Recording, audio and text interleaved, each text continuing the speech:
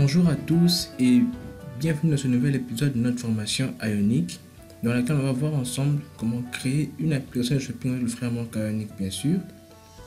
Alors, dans ce nouvel épisode, comme promis, on va voir maintenant comment implémenter notre système de rating, rating system, grâce aux notes qu'on va laisser avec des étoiles.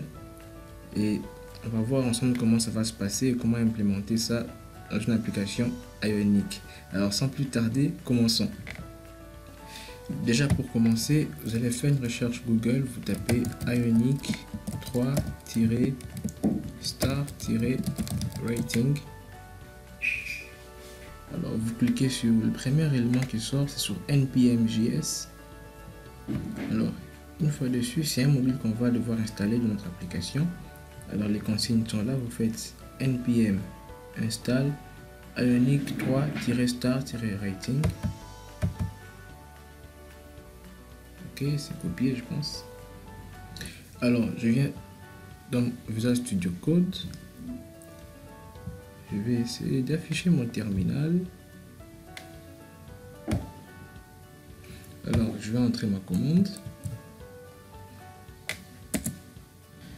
Alors, tout s'est bien passé. Je vais, je faire mon terminal. Si on rentre sur la doc, vous verrez que la première étape, c'est de l'installer et de l'ajouter dans notre composant parent. C'est-à-dire que celui-ci, il sera un composant enfant à part entière et on doit l'ajouter dans un composant parent. Alors, où est-ce que moi je veux qu'il s'affiche? Je veux qu'il s'affiche dans détail.html. Euh,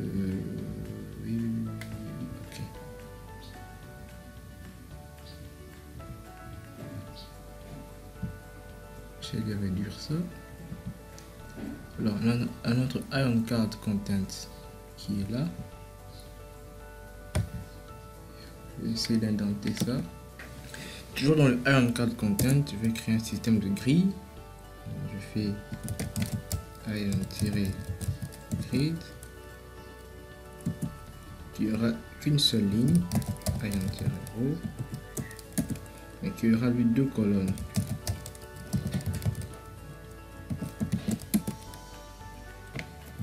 Première doit occuper 9 en largeur et c'est là que je vais mettre mon système, mon component de star rating. La deuxième colonne va occuper juste 2 et contiendra juste un bouton. Un bouton, je veux qu'il soit arrondi. Y aura comme texte noté. Je vais créer comme, couleur une couleur secondaire. Et je mets ça comme ça. Alors maintenant, je vais copier-coller tout ça. Copier. Et je colle ça là. Avant de sauvegarder, on va voir la suite. La deuxième étape. Alors, je vais essayer d'expliquer ça un peu plus tard. La deuxième étape, c'est qu'on doit importer star rating module dans le fichier .module.ts de notre composant parent. Donc, je copie ça. Je vais dans le fichier .module.ts du composant parent. Donc, donc details, details.module.ts et je vais devoir importer ça et l'ajouter dans mon tableau d'import. Oh, pardon.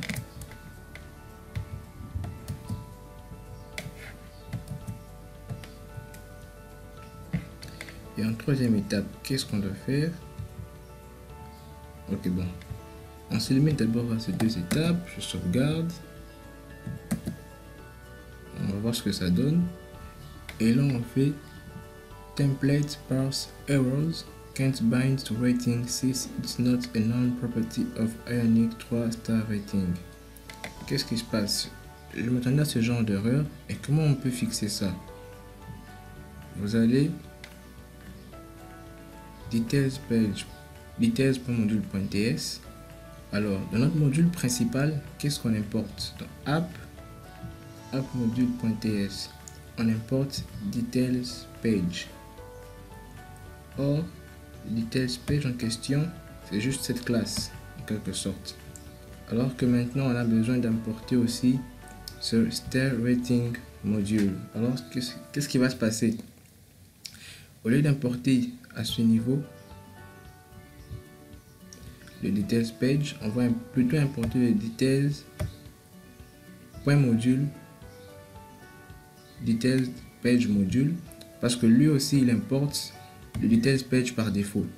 Donc ce qui fait qu'on aura en même temps le star rating module et le details page. Alors, je copie ça. Je vais ici dans mon tableau d'import et j'ajoute ceci. Je vais devoir lui dire où que tu vas aller chercher tout ça. Je vais dire import details page module from page details details.module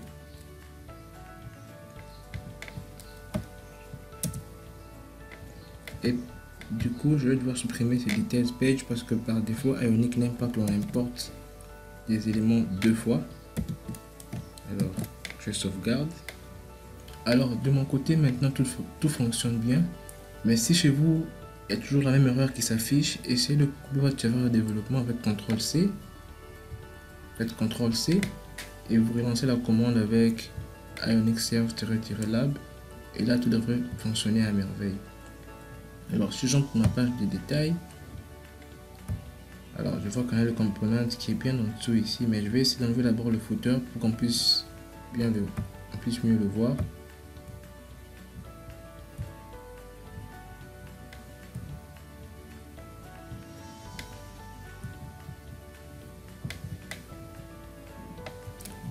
je vais le commenter, je sauvegarde. Alors je clique dessus. J'arrive là. Alors je vois bien a notre système de rating. Mais ce bouton est un peu trop à droite. Je vais essayer de l'arranger. Alors, je vais essayer d'ajouter l'attribut la directive padding.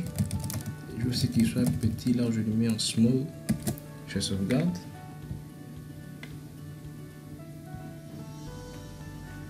Alors je vois que c'est déjà mieux. Essayer de diminuer ça à 1 alors. Voyons voir ce que ça donne. Non, toujours pas.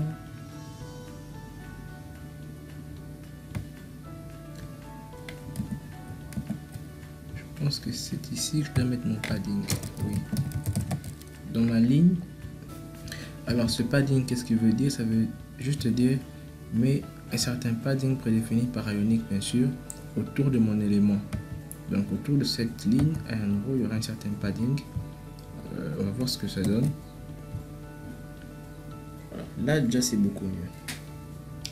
Maintenant de retour sur notre doc, on a fini l'étape 1 et 2, mais quelques petites précisions sur les propriétés qui sont utilisées. Alors Active Icon, c'est choisir en fait quelle icône doit être utilisée quand l'étoile est remplie et quelle icône doit être utilisée quand il n'est pas rempli. Là, c'est Default Icon. Active Color, c'est quelle couleur doit quand, quand, quand l'icône est remplie. Et Default Color, c'est quelle couleur utiliser quand l'icône n'est pas remplie. Alors, ce qui m'intéresse le plus, c'est Active Color. Je veux pas que ce soit en bleu, je veux que ce soit en jaune. Et read only, par défaut, il est à false.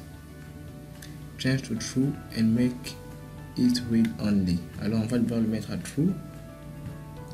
Si c'est pas déjà fait. Rating, c'est le nombre d'icônes qui sont remplies par défaut. Alors, par défaut, c'est 3. On va laisser ça comme ça. Alors, de retour dans Visual Studio Code.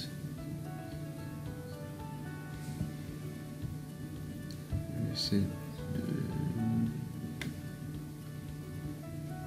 voilà ici ma couleur elle est là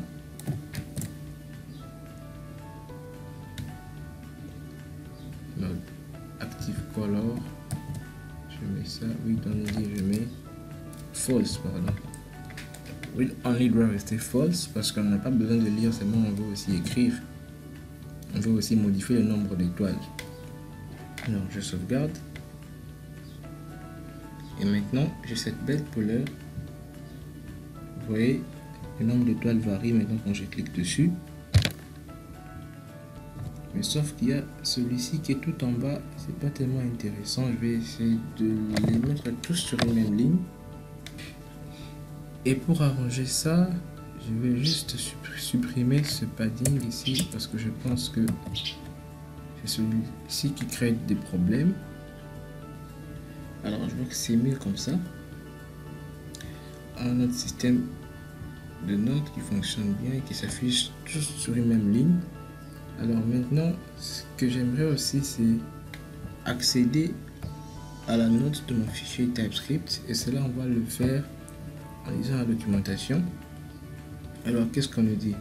On dit qu'on doit souscrire à l'événement star rating de point changed dans notre constructeur du parent dans une fonction telle que il va indiquer. Donc, dans ma page, dans ma classe details page, dans le constructeur, je vais devoir souscrire à cet événement. Et puis, j'aurai une fonction de callback qui sera exécutée, c'est une fonction fléchée. Et en paramètre, j'aurai la note que je sélectionnerai dans mon application. Alors, on va voir un peu tout ça en détail. Je copie cet événement pour ne pas l'oublier. Alors,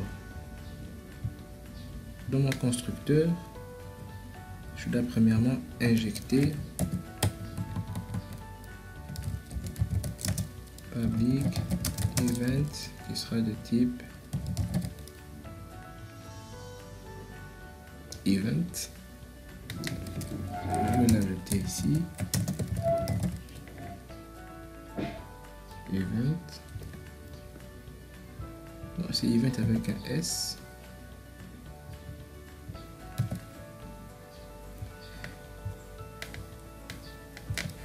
Et deuxièmement je vais faire 10 oh là là qu'est-ce que c'est fait? Deuxièmement je fais 10 event subscribe. Je passe le nom de l'événement. Et en retour vous voyez il y en a un handler on doit passer en paramètre une fonction de callback qui prend la note en paramètre star rating. Vous le nom que vous voulez hein. vous pouvez mettre notes par exemple. J'ai fait cette fonction mais pas juste un console.log euh, mais voici la note choisie